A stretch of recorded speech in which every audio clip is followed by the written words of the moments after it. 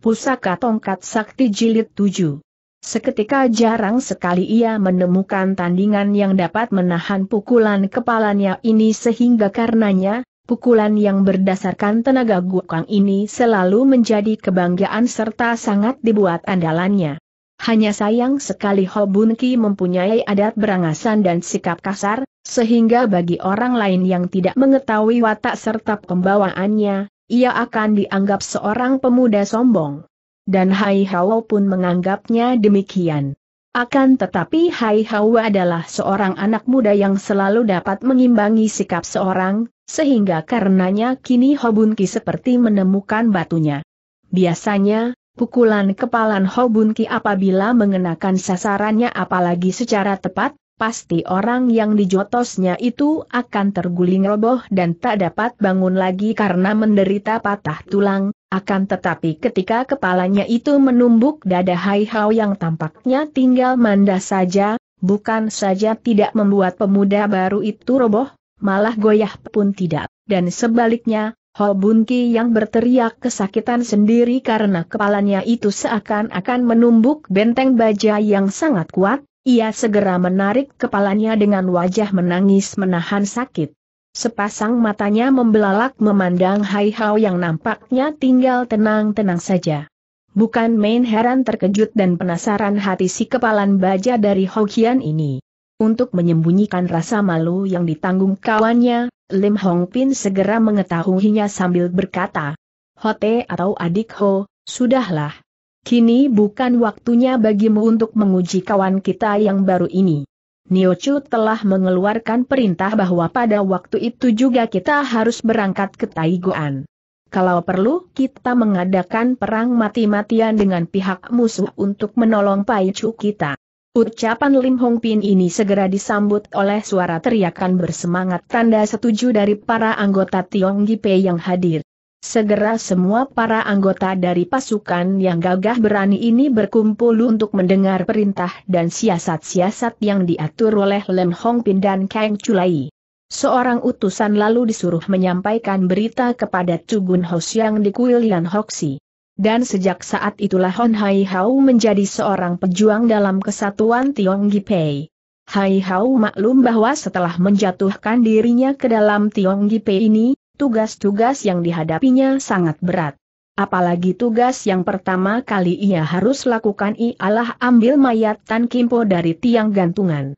Betapa berat dan besar resiko pekerjaan ini ia sudah dapat dibayangkan, sangat mungkin nyawa sendiri akan melayang tapi sebagai seorang pejuang Hai Hau paham bahwa ia tidak boleh memperhitungkan untung ruginya perjuangan yang dihadapinya asal dengan keyakinan bahwa yang diperjuangkannya itu adalah demi membela kebenaran dan keadilan.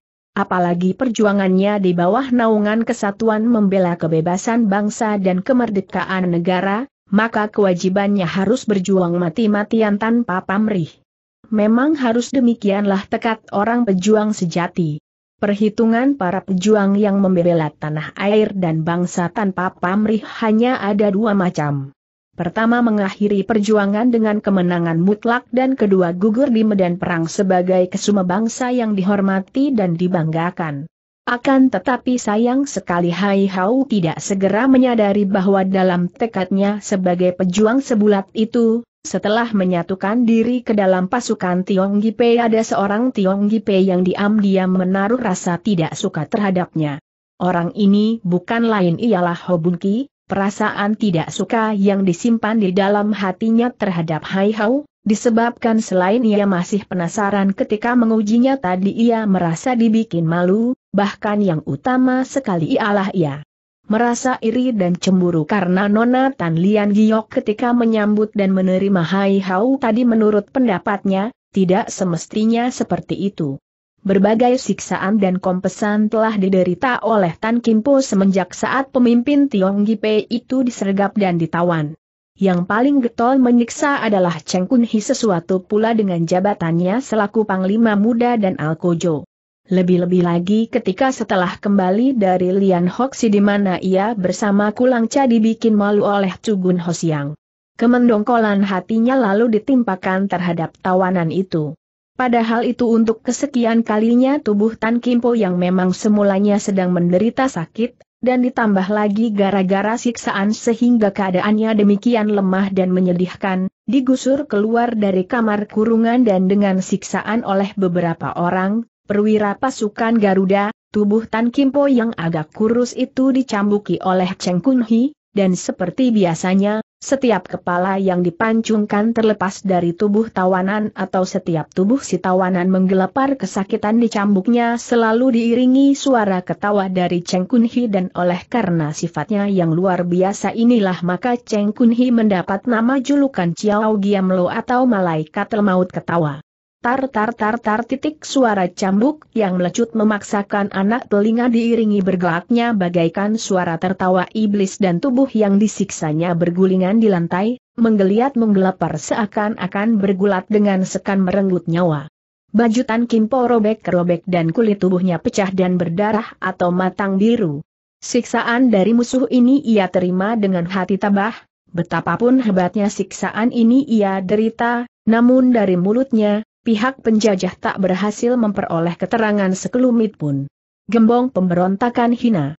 Mengakulah di mana kau menyembunyikan anak buahmu kalimat pertanyaan ini entah untuk keberapa kalinya dilontarkan oleh Cheng Kun Hi.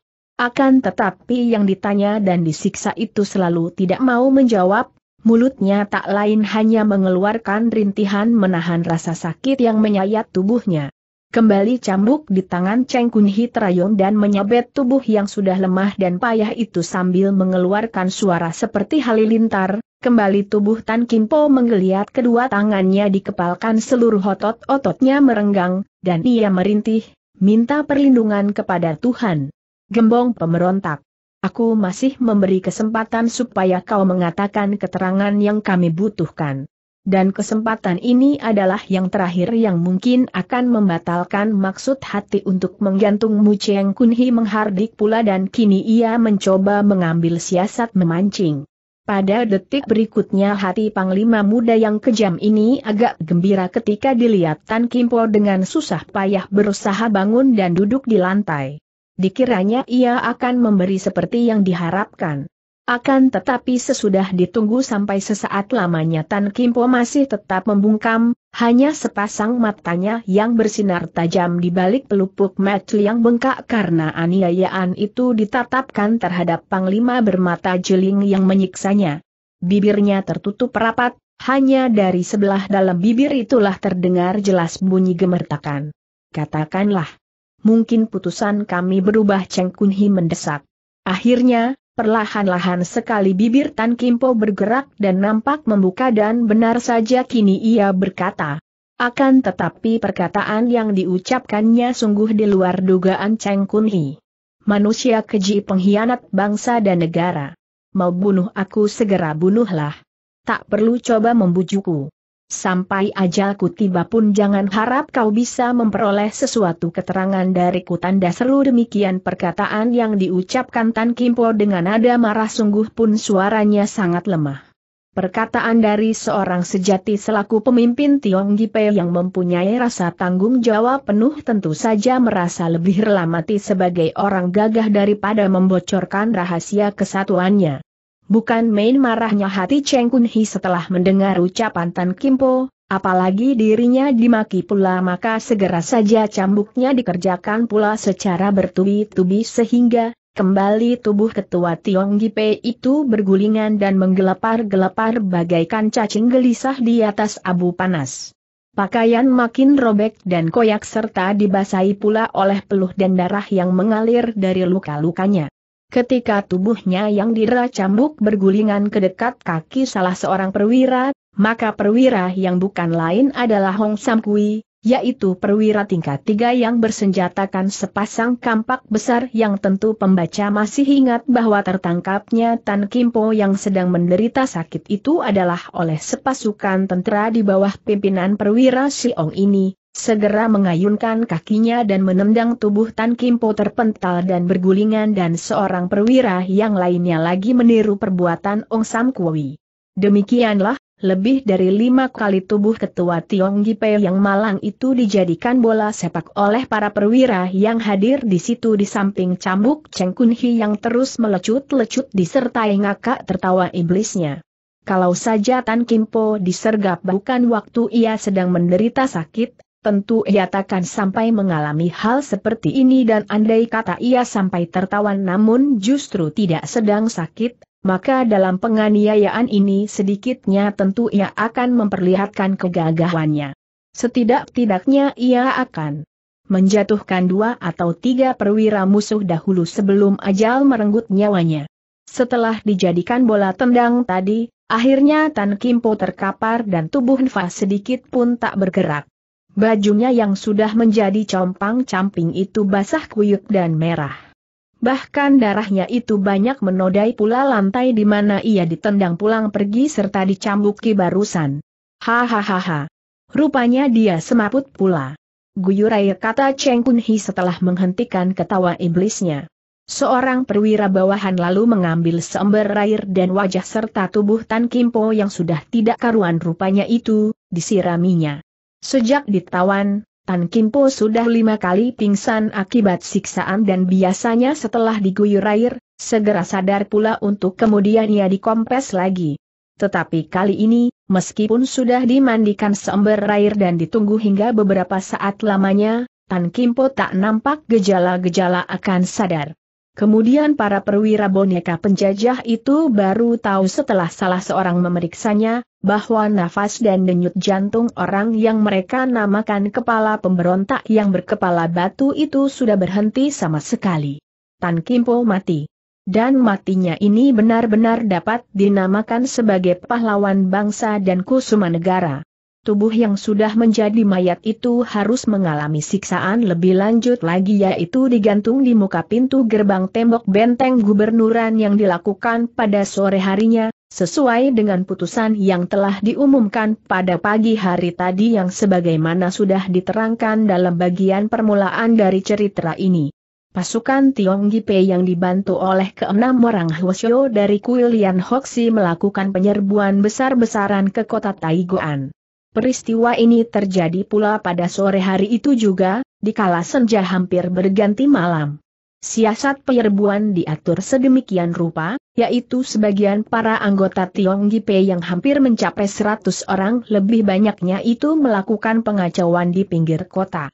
Banyak rumah-rumah para hartawan yang menjadi antek-antek atau pembantu pihak penjajah yang sudah tercatat dalam daftar hitam Tiong Gipe dibakar.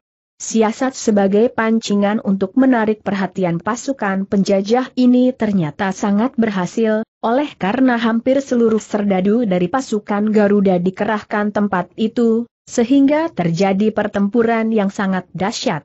Sementara para pemimpin Tiong Gipe dan dibantu keenam orang Hwasyo yang sudah disebutkan tadi yang kesemuanya menyamar sebagai petani dan kepala mereka yang gundul itu ditutupi topi caping yang berdaun lebar, berhasil menyelundup dan dengan mempergunakan kepandaian mereka, dapat melampaui beberapa pos penjagaan sehingga akhirnya mereka telah mendekati pintu gerbang gubernuran. Keadaan di situ sunyi sekali, seakan-akan tak dijaga. Cuaca sudah mulai gelap akan tetapi sinar api yang membakar rumah-rumah jauh di belakang mereka memberikan penerangan yang remang-remang sehingga apa yang nampak di pintu gerbang benteng gubernuran itu terlihat cukup jelas, sehingga karenanya Lian Giok mengeluarkan jeritan tertahan. Ayah dan nona perkasa ini hendak lompat dan lari menghampiri tubuh yang tergantung di bawah tiang gantungan terpanjang di muka pintu gerbang itu akan tetapi Lim Hong Pin cepat memegang dan menarik lengannya. Niochu, sabar dan jangan ceroboh. Kuatkan imanmu bisik Lim Hong Pin dengan suara perlahan dan menggetar. Hatinya amat tertusuk menyaksikan pemandangan yang amat menyedihkan jelas terlihat bahwa tubuh Tan Kimpo tergantung lehernya di bawah tiang gantungan di muka pintu gerbang itu, tak salah lagi bahwa Tan Kimpo yang digantung. Itu. Pakaiannya, masih seperti ketika ia disergap kemarin malam. Yakni baju hitam dan celana putih, yang kini sudah compang-camping dan cabikannya nampak menggelepar-gelepar di tiup angin. Lim Pepeh, biarkan aku mengambil jenazahnya. Tak kuat hatiku melihat dia tergantung seperti itu, Tan Lian Giok meronta-ronta dalam pegangan Lim Hong Pin.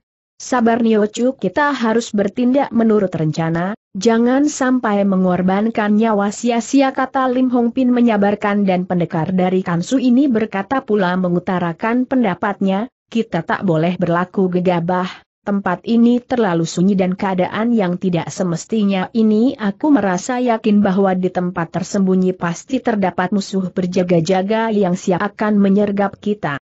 Oleh karenanya, kita harus berpencar. Kita harus dipencar menjadi tiga kelompok dan kita coba mendekati gantungan itu dari tiga jurusan. Nah segera laksanakan siasatku ini sementara Nio Cubun Kiculai ialah biarlah bersamaku. Mereka segera menyebar dan mereka ini bukan lain terdiri dari Cugun Hosiang dan Tuli Hosiang merupakan kelompok kedua yang mencar ke sebelah selatan. Sedangkan Tubi Hosiang Tugi Hosiang dan Hai Hau merupakan kelompok ketiga dan menyelinap ke sebelah utara. Begitulah dalam keadaan sepi yang menjadi teka-teki serta mencurigakan itu mereka berusaha mendekati tiang penggantungan dari tiga jurusan.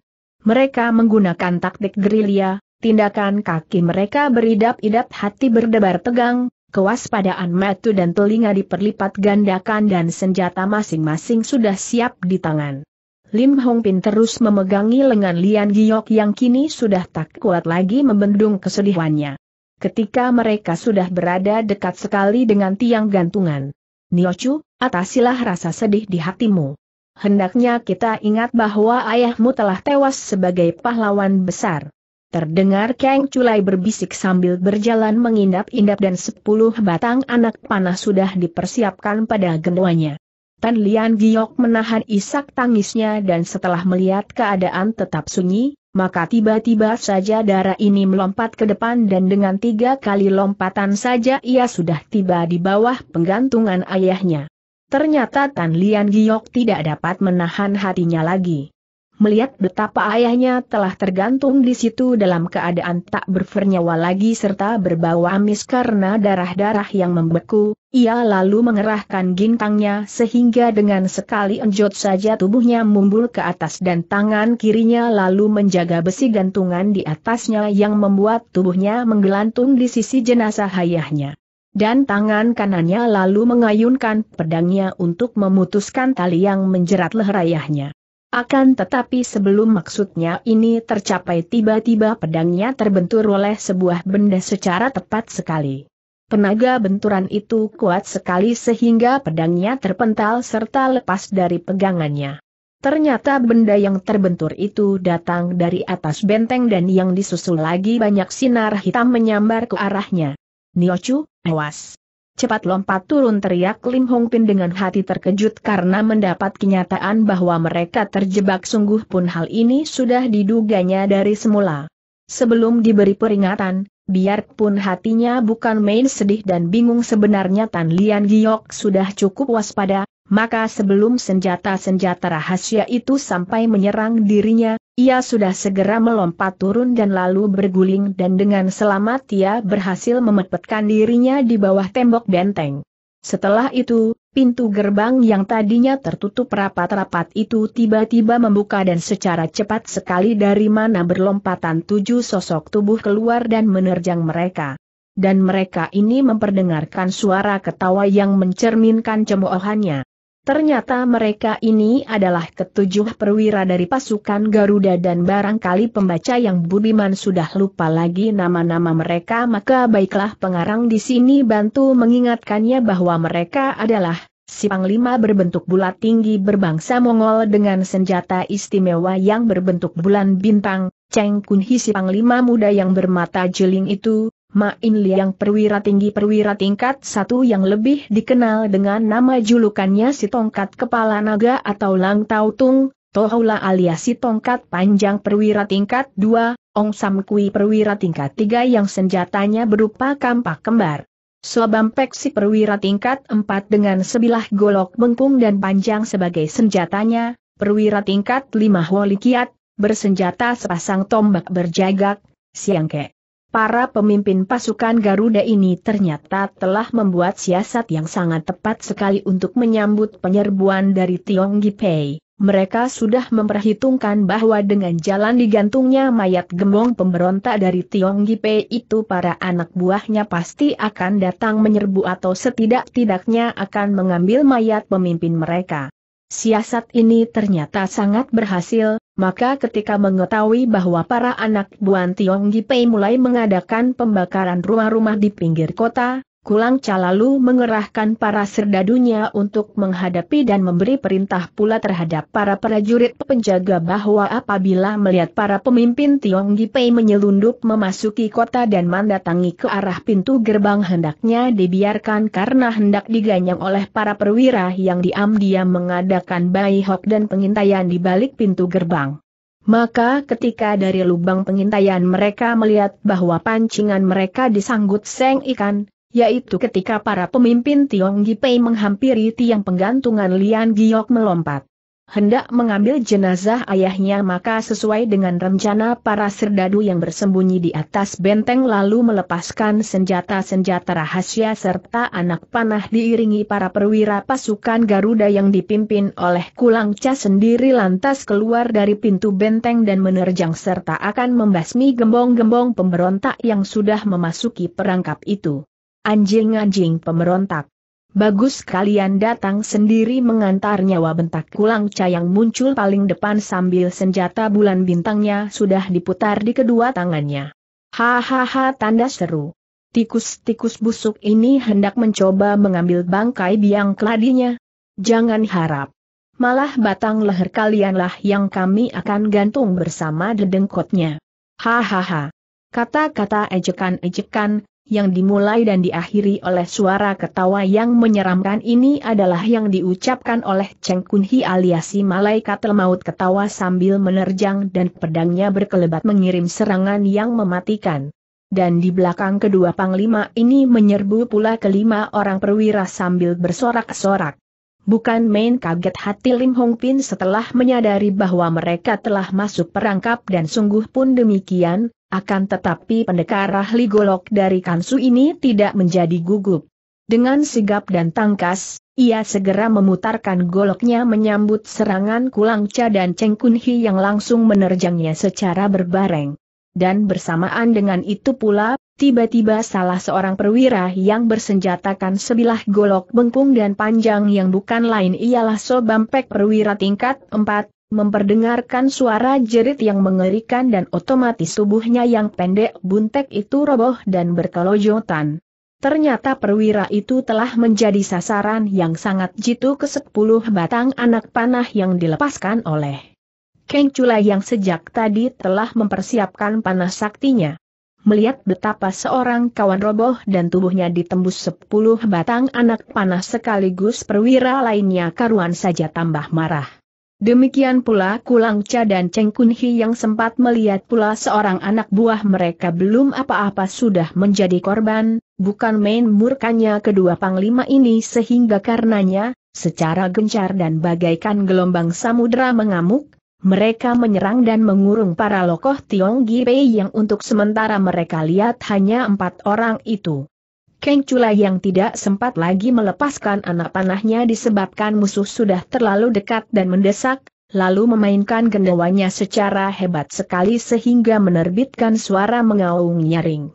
Demikian pula Ho Bun Ki telah memainkan sepasang kepalan yang menjadi kebanggaannya dan memang pendekar muda ahli Gua Kang dari Ho Kian ini dipuja kegagahannya. Ia sanggup menghadapi dua orang perwira yang bersenjata hanya dengan kedua kepalanya itu. Sementara Lian Giok, setelah melihat betapa para musuh itu mengeroyok kawannya dan sendiri seakan-akan tidak terlihat mereka. Maka gadis ini cepat melompat ke bawah tiang penggantungan serta menyambar pedangnya yang terlepas dari pegangannya tadi lalu mengerahkan guakangnya meloncat sambil menyabetkan pedangnya ke arah tali penggantung leher mayat ayahnya. Brett, tali tersebut putus dan mayat Tan Kimpo terjatuh ke tanah, lalu ditubruk oleh Lian Giok yang tak dapat menahan kesedihan lagi. Ayah tanda seru keluhnya dengan ratap tangis ketika merasa betapa tubuh ayahnya itu dingin dan kaku. Akan tetapi darah ini benar-benar memiliki kekuatan fisik dan mental yang harus dibuat kagum, ia hanya beberapa detik saja. Dipengaruhi oleh penasaran hati remuk dan pikiran bingung oleh karena pada detik berikutnya ia telah mengamukan pedang di tangan, membantu kawan-kawannya yang dikeroyok para perwira penjajah itu, hingga terjadilah pertempuran yang sangat seru. Keng Culai dengan gendawanya menghadapi Main Liang si perwira tingkat satu yang bersenjata tongkat kepala naga itu.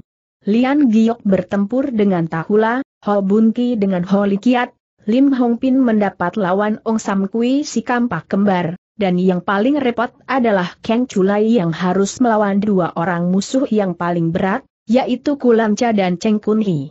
Untuk sementara mereka yang saling tempur ini berkeadaan seimbang, akan tetapi sebentar kemudian pihak para perwira itulah yang merasa kewalahan yakni setelah Cugun Hosiang dan kawan-kawannya terpencar tadi bermunculan dari sebelah selatan dan utara.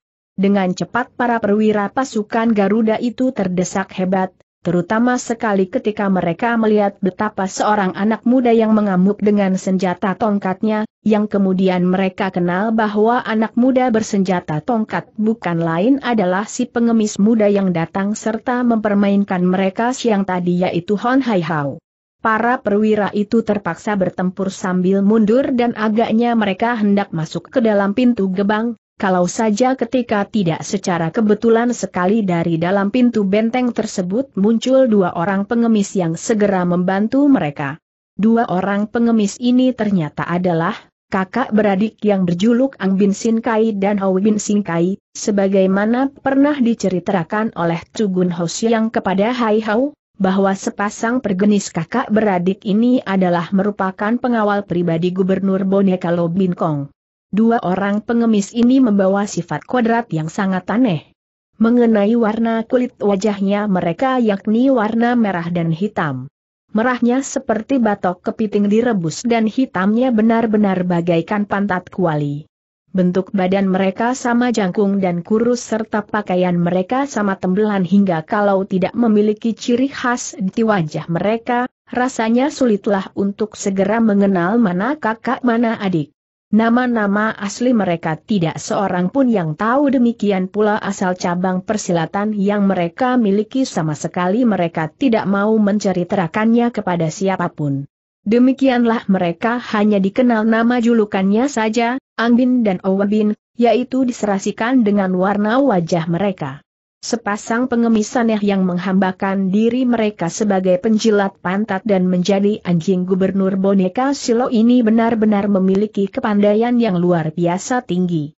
Buktinya, setelah mereka muncul dan membantu para perwira yang terdesak oleh kawanan Tiong Gipe itu, biarpun di tangan mereka tanpa senjata dan hanya mempergunakan tangan-tangan mereka saja dengan gaya silatnya seperti ilmu Hou Jiao Kang, Ilmu cakar harimau, itu disertai suara ketawa mereka yang hahaha sekali bergerak saja tangan mereka telah berhasil merampas senjata Tulek Hosiang dan Tuli Hosiang dan ketika pengemis luar biasa ini melakukan gerakan yang kedua dalam waktu yang hampir bersamaan. Terdengarlah suara jeritan yang mengerikan dari kedua Hwasyo tersebut seiring tubuh keduanya terguling roboh ternyata kulit perut mereka telah menjadi ambrol sedemikian rupa dengan usus berkeleleran keluar akibat cengkeraman tangan Ang Bin Sin Kai dan adiknya. Mengetahui bahwa dua orang kawannya tewas dalam keadaan demikian menyedihkan, bukan main terkejut, sedih dan marahnya Tugun Hosiang. Anjing-anjing penjajah barat. Dua saudaraku ini harus ditebus oleh delapan nyawa kalian serunya menggeledek. Dan pedang Im Yang Kiam yang sengaja dibawanya ke dalam perjuangan ini lalu diputarkan sedemikian dahsyat sehingga Kulang Cha yang ketika itu kebetulan berada di dekatnya pasti akan dibabatnya kalau tidak keburu Tohula menolor dengan mempergunakan tongkat panjangnya menangkis. Pedang dan toya panjang itu beradu sambil mengeluarkan suara nyaring, ternyata toya panjang itu dibabat putus oleh pedang Im Yang Kiam, malah Cugun Hos yang merasakan tangannya bergetar hebat, ia cepat merubah gerakan pedangnya serangannya kini ditujukan ke arah dada Tohula, perwira tingkat dua dari pasukan Garuda ini pun tidak mau memperlihatkan kelemahannya, lalu memainkan toyanya kembali menangkis dan sementara itu Kulang Cha sudah membantunya sehingga Cugun yang menghadapi lawan yang tak dapat dirobohkannya dengan segera. Adapun Cheng Kun Hi setelah mendapat bantuan kedua kakek pengemis luar biasa tadi, lalu memilih lawan yang paling menarik hatinya yaitu Nona Tan Lian Giok. Sambil ketawa ceriwis, si Panglima bermata jeling ini mencoba hendak menangkap darah putri dari pemimpin Tiong Gipe yang sangat menyilaukan si mata keranjang. Akan tetapi Lian Giok sudah berbuat nekat, ia melawan dengan gigihnya sehingga hampir saja pada satu saat Panglima muda yang ceriwis itu kena disambar pedang kalau saja tak dapat mengelak. Demikianlah pertempuran itu berjalan makin hebat dan lambat laun setelah sepasang pengemis itu muncul dan membantu para perwira maka pihak Tiong Gipe terdesak hebat. Hai Ho yang sejak melibatkan diri dalam pertempuran itu sama sekali tak sempat untuk mencari musuh besarnya Cheng Kun Hi, oleh karena selain ia sudah sangat kewalahan mengatasi amukan kedua pengemis sakti tadi untuk menahan supaya di pihak kawannya jangan sampai jatuh korban lebih banyak lagi, dan kini setelah maklum bahwa bagi pihaknya lah yang sangat terdesak dan agaknya tak ada jalan untuk lolos, disebabkan para musuhnya mengeroyok dan mengepungnya rapat, tiba-tiba muncullah akal yang timbul dari otaknya yang cerdik maka cepat ia berseru nyaring. Kawan-kawan kalian mundurlah kini biarlah ku hadapi sendiri Hai Hau kini benar-benar seperti naga sakti mengamuk tongkatnya menyambar kian kemari, dan usahanya berhasil karena ternyata setelah anak muda ini mengamuk maka beberapa orang perwira tak kuasa menghadapinya sehingga terbukalah sebuah lowongan bagi pihak Tiong Gipe beberapa jalan untuk meloloskan diri dari kepungan. Kini terbukalah mata para tokoh Tiong Gipei setelah menyaksikan betapa hebatnya Hai Hau mengamuk, para pengeroyok dan pengepung menjadi kacau balau. Keng Chulai, Lim Hong Pin, Lian Giok, dan Cugun Hosiang dan lain-lainnya lagi sempat melihat betapa sinar tongkat yang dipegang oleh anak muda itu berkelebatan ke sana kemari dan saking cepat dan lincahnya Hai Hau bergerak, tubuhnya hampir tak terlihat karena terbungkus oleh sinar tongkat yang bergulung-gulung. Para tokoh Tiong Gipe itu rata-rata berkepandaian tinggi dan mempunyai pengalaman yang cukup banyak, kini melihat Hai Hao yang sedang diuji dalam praktek perjuangan yang sesungguhnya ini benar-benar hampir tidak percaya kalau anak muda yang merupakan anggota baru dalam pasukan mereka ternyata memiliki ilmu kepandaian yang sangat hebat. Lim Hong Pin dan kawannya maklum bahwa anak muda itu berbuat demikian adalah dengan maksud memberi kesempatan bagi mereka untuk lolos dari kepungan itu, akan tetapi ternyata mereka tidak demikian pengecut, apalagi setelah melihat betapa Hai Hau benar-benar membela dan terbukti kegagahannya, maka daripada lari meloloskan diri malah semangat tempur mereka mendadak timbul kembali terdengar Cugun Hos yang menyaut. Anak muda. Enak saja kau bicara. Apa kau kira kami semua ini takut menghadapi maut? Kau harus ingat kita pantang mundur sebelum maksud kita kemari tercapai pendeta yang gagah perkasa ini terus mengobat-abitkan pedang pusakanya. Demikian pula yang lain-lainnya mempunyai tekad yang sama seperti Cugun Hos yang agaknya mereka sudah sama berpendirian bahwa lebih baik mereka mati semua di medan juang itu daripada mengudurkan diri sebelum jenazah ketua mereka dapat diamankan. Biarpun sudah merasa pihaknya bakal menjadi korban oleh pihak musuh terutama yang amat menggetarkan hati mereka adalah Ang Bin Sin Kai dan Ou Bin Sin Kai yang amat ganas serta berkepandaian jauh lebih tinggi dari tingkat kepandaian mereka, namun para tokoh Tiong Gipe ini terus melakukan perlawanan dengan gigihnya dan secara nekat sekali. Melihat kebandelan para tokoh Tiong Gipe itu Hai Hau merasa mendongkol sekali, mengapa mereka tidak mau lari dalam kesempatan yang diperbuatnya? Setelah mendengar ucapan dari Cugun Hosiang yang memang ditujukan terhadapnya. Hao Te. Sudah lupakah kau apa kewajibanmu datang kemari? Laksanakanlah segera apa yang Niochu tugaskan seolah-olah baru teringatlah Hai Hao demi mendengar seruan dari Lim Hong Pin yang merupakan sebuah perintah itu. Maka dengan mempergunakan ketangkasan dan kelincahannya ia berusaha keluar dari kepungan dan hendak mengambil jenazah Tan Kimpo yang menggeletak kaku di bawah tiang penggantungan itu. Agaknya kedua orang perwira mengetahui maksudnya sehingga ia terus dialang-alangi secara rapat sambil dihujani serangan gencar. Salah seorang perwira, Ma In yang telah melihat dengan jelas dan mengenalnya bahwa anak muda yang bersenjatakan sebatang tongkat itu adalah pengemis muda yang datang mengacau serta pernah mempermainkannya siang tadi, sehingga kemarahannya jadi memuncak dan membentak. Kelinci muda. Bagus kau datang sendiri mengantar nyawa. Rasakanlah pembalasanku atas penghinaanmu siang tadi Ma In Liang menggerakkan tongkat kepala naganya sangat hebat, dibantu oleh Likiat si perwira tingkat lima yang menerjang dengan sepasang siangkeknya. Sungguh pun hadangan kedua orang musuh ini untuk sementara benar-benar menghalangi maksud Hai Hau akan tetapi anak muda ini sudah maklum bahwa kedua lawannya tak perlu dibuat gentar karena siang tadi ia sudah menjajal betapa kepandaian mereka. Maka sambil ketawa mengejek Hai Hau balas memaki. Anjing penjajah, memang kedatanganku untuk memuaskan perasaan hatimu yang penasaran. Kalau siang tadi aku hanya membuat tongkat kepala nagamu terlepas dari peganganmu, maka sekarang aku hendak membuat nyawamu terlepas dari ragamu yang kurus kering seperti pemadatan itu.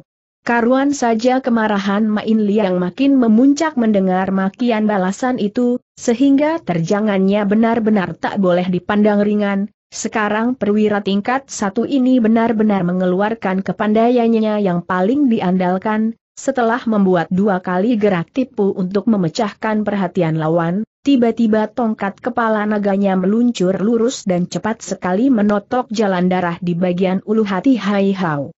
Bersamaan dengan itu sebatang tombak cagak yang dipegang dalam tangan kanan Holy Kiat mengirim serangan ke arah lambungnya. Hai Hau memang tidak mau membuang waktu dan sekaligus ia melakukan tiga macam serangan untuk menyambut dan mematahkan serangan kedua lawannya itu. Ternyata hebat sekali akibat dari tiga macam serangan ini. Dengan kecepatan luar biasa sehingga sama sekali tak terduga oleh kedua lawannya, tongkat di tangannya telah membuat gerakan kilat dan membentur tongkat kepala. Naganya sambil menerbitkan suara keras dan untuk kedua kalinya, seperti siang tadi tongkat kepala naganya terlepas dari pegangan Main Liang padahal perwira tua ini sudah berusaha agar hal ini tidak sampai terjadi. Berbareng tangan kiri Hai Hau dengan telapak terbuka melakukan dorongan ke arah dada perwira Sima itu bersamaan dengan itu pula, kaki kanan Hai Hau menendang untuk memapaki tombak cagak dari Holy Kiat yang mengancam lambungnya, Main Liang yang jangkung kurus itu roboh tak berkutik lagi setelah terpental beberapa kaki jauhnya akibat pukulan Faciok Senghuncang yang dilancarkan tangan kiri Hai Hao, sedang tendangannya telah membuat tombak cagak holikiat mental dan oleh karena kepandaian perwira tingkat lima ini memang paling rendah sehingga biarpun ia berhasil memegang rat-rat senjatanya tidak sampai terlepas akibat tendangan tadi. Akan tetapi justru disebabkan senjata itu tidak terlepas dari pegangannya maka jadi membalik dan memukul keningnya sendiri. Pening dan limbunglah Holy Kiat akibat senjatanya makan cuan itu, akan tetapi rasa sakit di kening dan kepeningannya itu hanya sebentar saja dideritanya oleh karena tiba-tiba terdengar suara petak tanda seru tubuhnya terjungkal seiring nyawanya melayang karena Hai Hau telah melakukan serangan susulan, yaitu sebuah pukulan dengan tongkatnya yang menyebabkan batok kepala Holy Kiat menjadi pecah. Kini Hai Hau tidak mempunyai lawan lagi, sebab para musuhnya baru mencoba hendak menumpas kawan-kawannya. Ang Bin Sin Kai dan Ou Bin Sin Kai sedang mendesak Kang Culai dan Cugun Hosiang.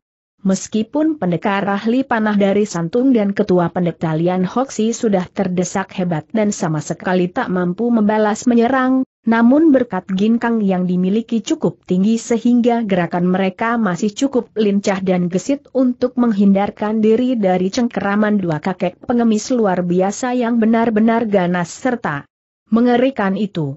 Kalau diperhatikan memang sangat lucu, mereka bertempur seperti anak-anak main kucing-kucingan.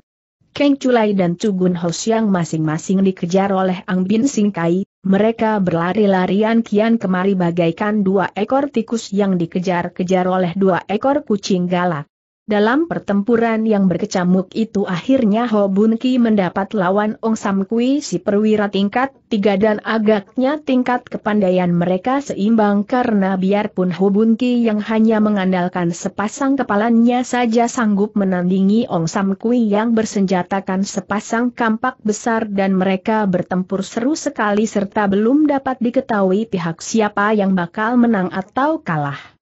Kulangca sedang mengamukan senjata bulan dan bintangnya, ia menggempur Chu Bihosiang dan ternyata kedua orang pendeta ini yang masing-masing mempergunakan pedang sebagai senjata dapat menjalani serangan si Panglima tua bangsa Mongol itu secara baik, Sungguh pun beberapa kali kedua orang Hwasyo ini nyaris mendapat celaka karena senjata aneh yang berbentuk bulan bintang serta menimbulkan suara kerincingan yang membisinkan telinga itu digerak-gerakan oleh Kulang Cha secara luar biasa sekali sehingga segala gerak tipu dan perkembangannya benar-benar di luar dugaan mereka.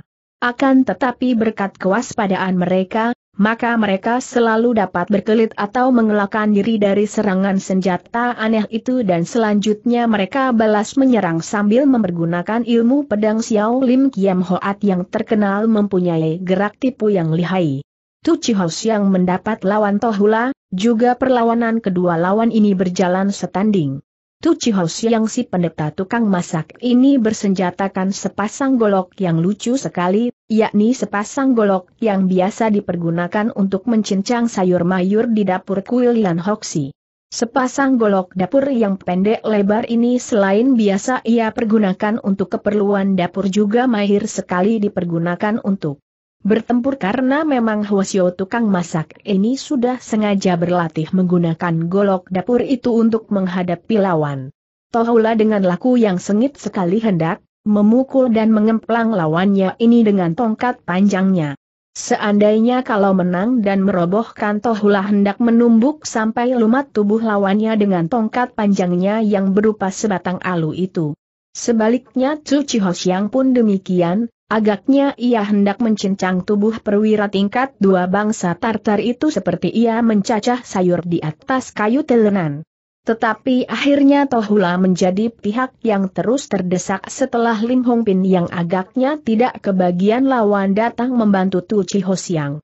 Sambil terdesak dan terus mundur Tohula tetap mengadakan perlawanan mati-matian dan ilmu tongkat panjang dimainkan oleh Tohula benar-benar mempunyai daya tahan yang amat kuat, tubuhnya dikurung rapat oleh gulungan sinar tongkat yang diputarkannya yang merupakan benteng kokoh melindungi dirinya sehingga tak dapat ditembus oleh golok Lim Hong Pin apalagi oleh sepasang golok Chu Chi yang yang berukuran terlalu pendek itu.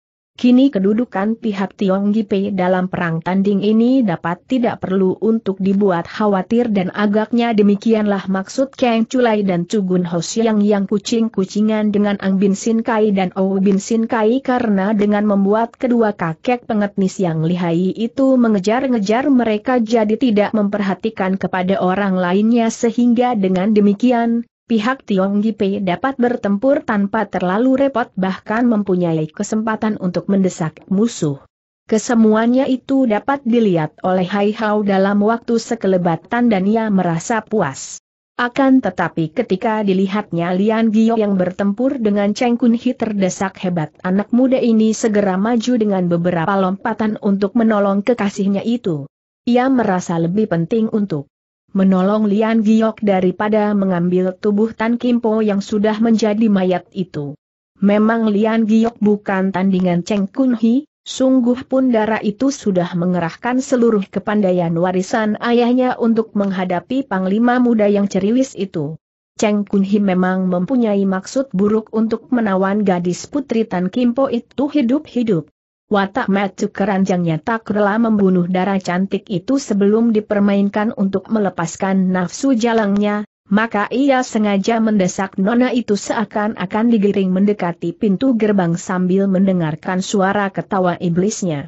Lian Giok maklum akan maksud si mata jeling ini, Biarpun sudah sangat payah ia masih terus melakukan perlawanan mati-matian dan berusaha supaya ia tidak sampai didesak mendekati pintu gerbang. Hahaha tanda seru. Nona manis, kau dulu menolak lamaranku dan kemudian kau ikut ayahmu mabur, ayahmu menjadi gembong pemberontak yang sekarang sudah menjalankan hukumannya. Mengapa kau masih berkepala batu? Sebaiknya kau menyerah saja dan masuklah ke pintu gerbang supaya kau aman. Aku berjanji kau akan kubebaskan dari segala tuntutan tanda seru demikian sambil terus mendesak dengan pedangnya, Cheng Kunhi mengutarakan maksud kejinya.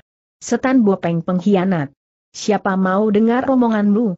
Aku lebih suka mati bersama ayahku balas Lian Giok memaksa sambil mengerahkan tenaga yang masih ada padanya mempertahankan diri. Bukan main marahnya Cheng Kunhi mendengar dirinya dimaki setan bopeng oleh gadis yang dikasihaninya itu, maka sambil menghardik. Anjing betina pemerontak.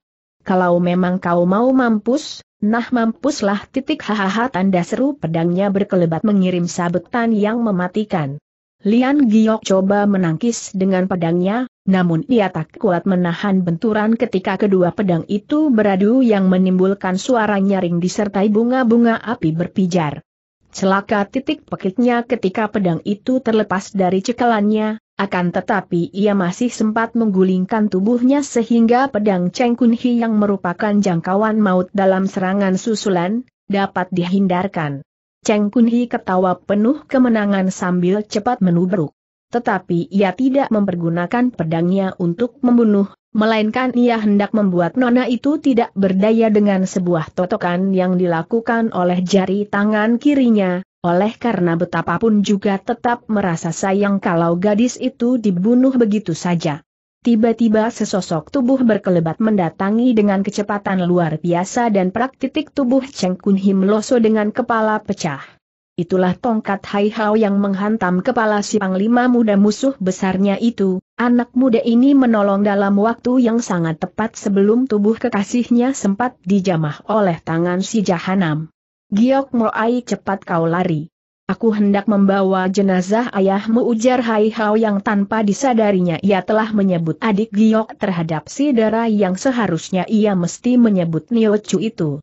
Alangkah merdunya bagi telinga Lian Giok mendengar si pemuda menyebutnya dengan istilah demikian terhadap dirinya demikian merdu, dan romantis rasanya sehingga kalau saja keadaan justru tidak gawat dalam perang campur ini agaknya niscaya ia akan terkena oleh hikmah yang mempengaruhi. Ia cepat bangkit dan memungut pedangnya lalu melompat keluar kalangan pertempuran.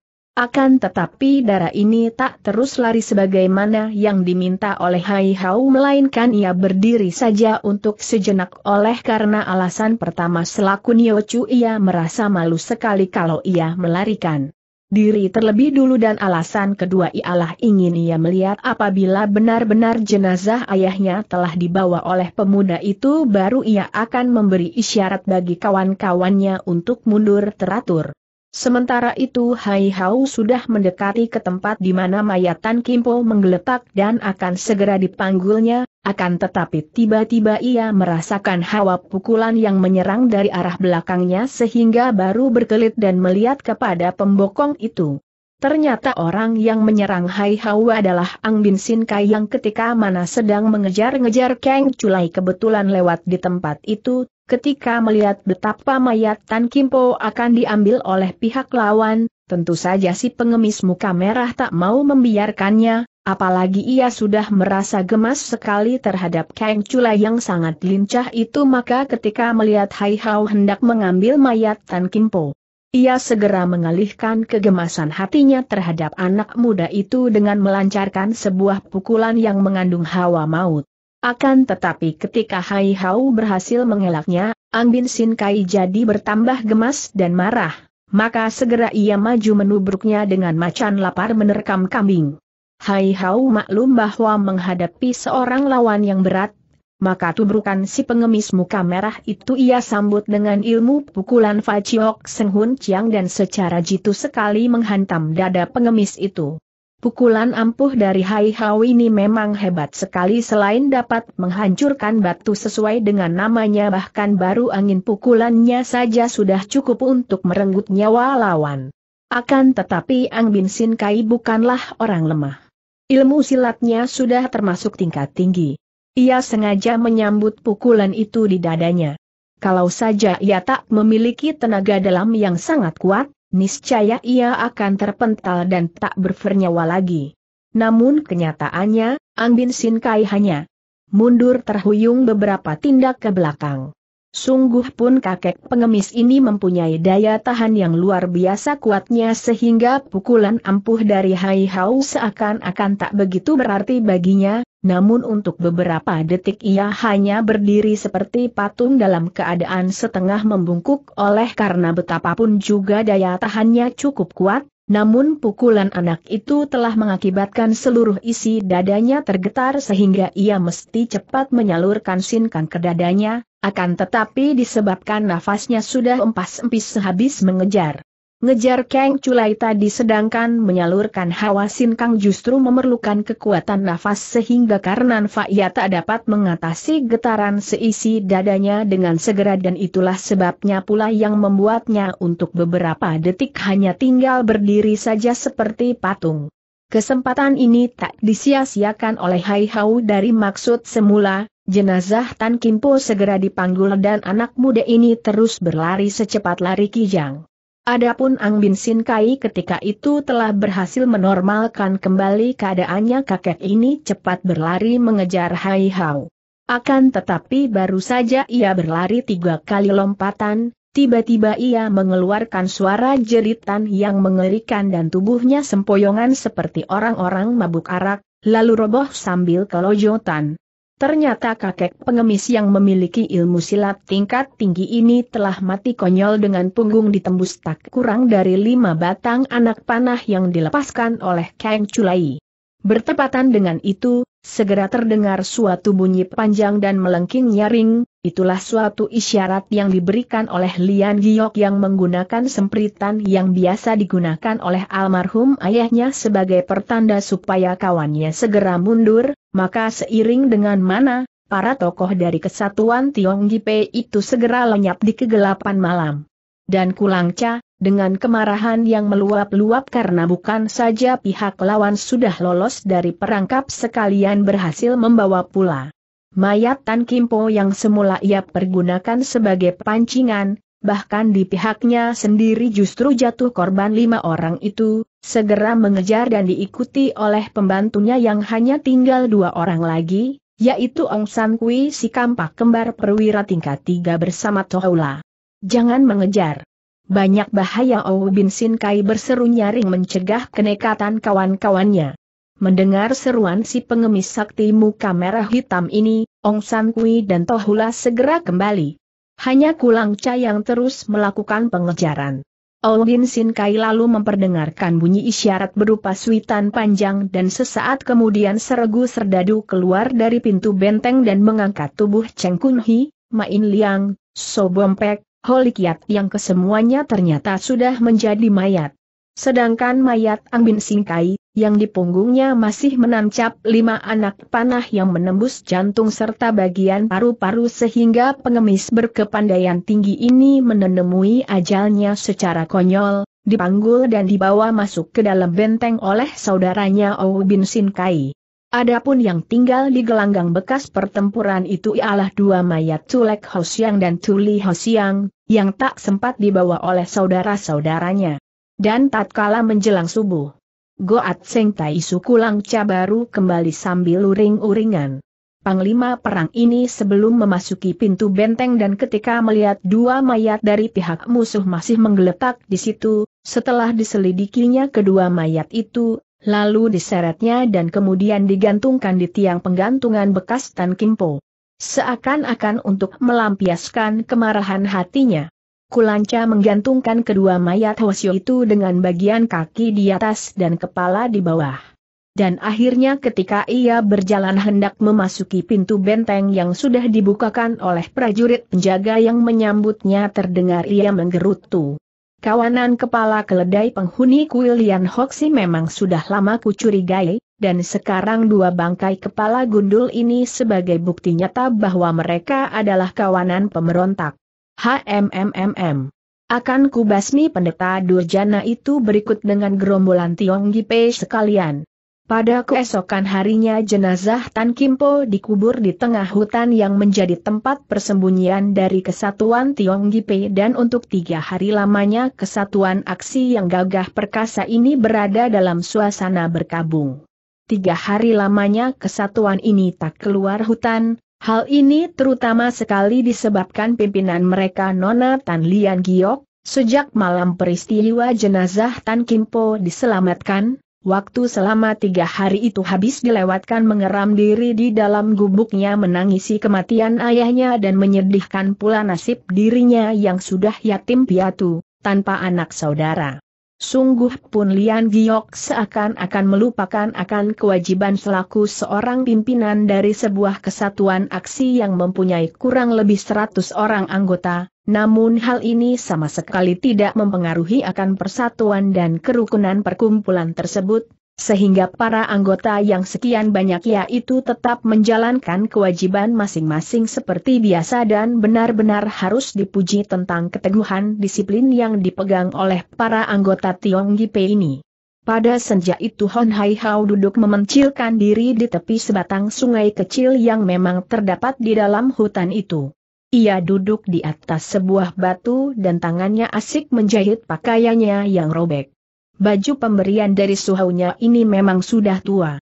Sehingga kainnya sudah amop, maka tak heran ketika ia bertempur menyelamatkan jenazah Tan Kimpo yang kemudian dipanggulnya dari kota.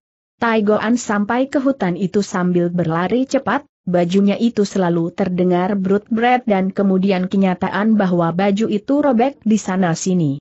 Sehabis bertempur pada malam tempo hari itu yang baginya merupakan ujian praktek selaku anggota baru dari kesatuan yang kini dimasukinya, pemuda ini merasakan tubuhnya ini sangat lelah bukan main, tambahan hatinya turut pilu dan sedih melihat Lian Giok yang selalu menangisi kematian ayah dan ibunya. Selama Lian Giok mengeram diri, Selama itu pula anak muda ini hanya termenung-menung seperti orang linglung dan ia sendiri merasa tidak mengerti mengapa kedukaan serta kesedihan hati Lian Giok sangat mempengaruhi hati dan pikirannya. Mengapa kematian Tan Kimpo menimbulkan rasa duka cita sedemikian mendalam? Mengapa kematian kedua Hosyo yang ia sudah terima kebaikan budinya tidak meninggalkan kesedihan yang sedemikian mendalam seperti kematian ayah Lian Giok? Berkat kekuatan batinnya akhirnya Hai Hau sadar sendiri bahwa tidak seharusnya ia berperasaan seperti demikian, tidak seharusnya ia terlalu terpengaruh oleh keadaan Lian Giok.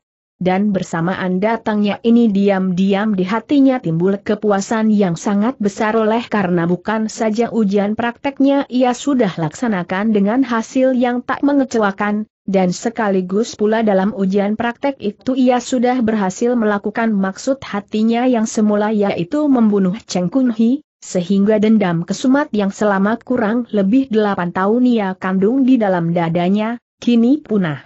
Dan baru sore itulah Hon Hai Hao teringat pada bajunya yang robek, maka ia lalu meminjam jarum dan benang kepada salah seorang kawan kesatuan yang kebetulan memilikinya, dan lalu dijahitnya baju di bagian yang robek-robek itu sambil memencilkan diri, duduk di atas sebuah batu di pinggir sebatang sungai kecil yang airnya mengalir deras. Bagi yang belum biasa soal menjahit atau menjerumati pakaian adalah semacam pekerjaan tak mudah dan mengerjakan jarum dan benang maka tak heran kalau anak muda ini selama menjahit pakaian yang robek-robek itu berulang kali terdengar mengeluh, karena bukan saja jahitannya jarang-jarang dan kasar, bahkan di mana bagian yang dijahit itu menjadi keripat-keriput tidak karuan bisa membuat orang yang melihatnya akan menertawai. Amat menyemukan dan mendatangkan rasa kesal pekerjaan ini, sehingga kalau tak ingat akan kekhawatiran kekurangan pakaian, pasti baju usang dan amoh pemberian gurunya ini sudah dibuangnya. Akan tetapi, karena mengingat pakaiannya hanya tiga perangkat berikut yang kini melekat di tubuhnya, itu pun sudah usang semuanya maka secara memaksakan diri ia terus menguji ketekunannya. Bagian-bagian yang cabik dari bajunya itu terus dijahitnya sebisa-bisanya sungguh pun kalau melihat hasil jahitannya yang tidak karuan itu menimbulkan rasa geli di hatinya. Selagi asik-asiknya Hai Hao menyulam tiba-tiba pendengarannya yang tajam menangkap suara yang mendatangi dari arah belakangnya, cepat ia menoleh dan setelah ia mengetahui siapa yang datang itu, Secepat itu pula ia menyembunyikan pakaian yang sedang dijerumatinya itu kebalik sepasang tekukan dengkul kakinya. Sementara mulutnya menyapa. Niochu mungkinkah ada perintah bagiku, sehingga Niochu berkenan datang kemari? Aku siap mengerjakannya. Tidak. Aku datang kemari dan berjumpa denganmu di sini hanya kebetulan sahut orang itu yang bukan lain adalah Tan Lian Giok yang baru kelihatan muncul selelah selama tiga hari mengeram diri di dalam pondoknya.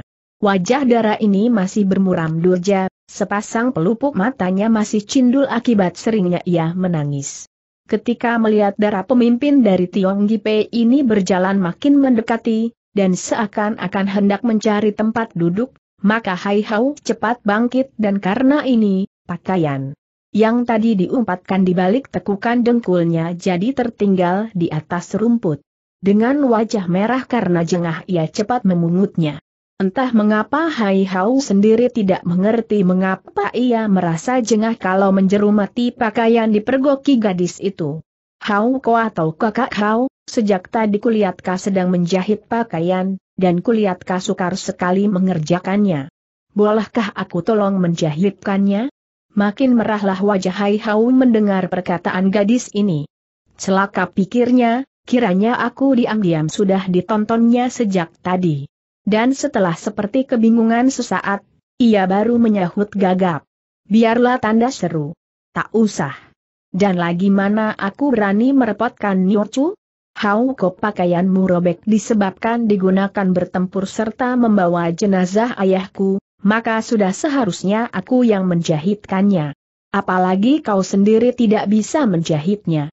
Nah, mari serahkan padaku. Jangan, Niochu tanda seru.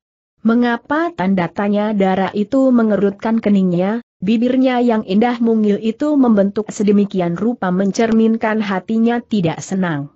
Karena titik karena selain sudah kujahit sehingga tak perlu dijahit ulang lagi, juga pakaian itu belum kucuci.